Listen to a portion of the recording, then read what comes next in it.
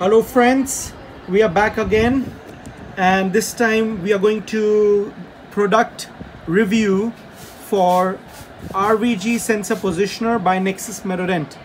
It's a sensor positioner like a cone beam technique and we are going to open the box and let's see what we have over here.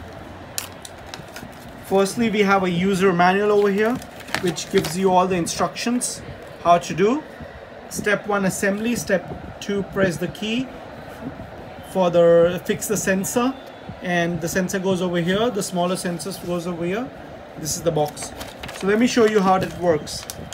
So what it does is that the first of all this one this is a non-angulated one. This is for anteriors. So the ring goes over here. This is the shooter gets fixed over here. And the sensor fits over here so right now it's set for the smallest size and when you press this small lever over here you can increase the size. One, two, any size you want it fits to all the sensors.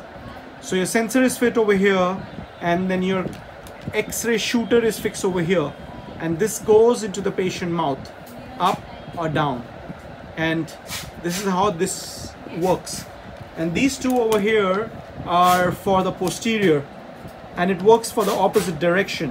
Like upper right with the lower left and upper left with the lower right. This is the patient bite place and the same thing.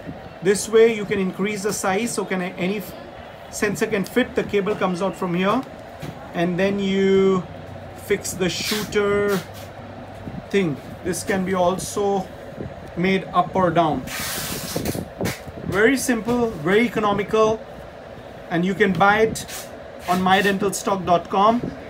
And uh, please subscribe to our channel, Nexus Medodent. And if you like the video, please press the like button.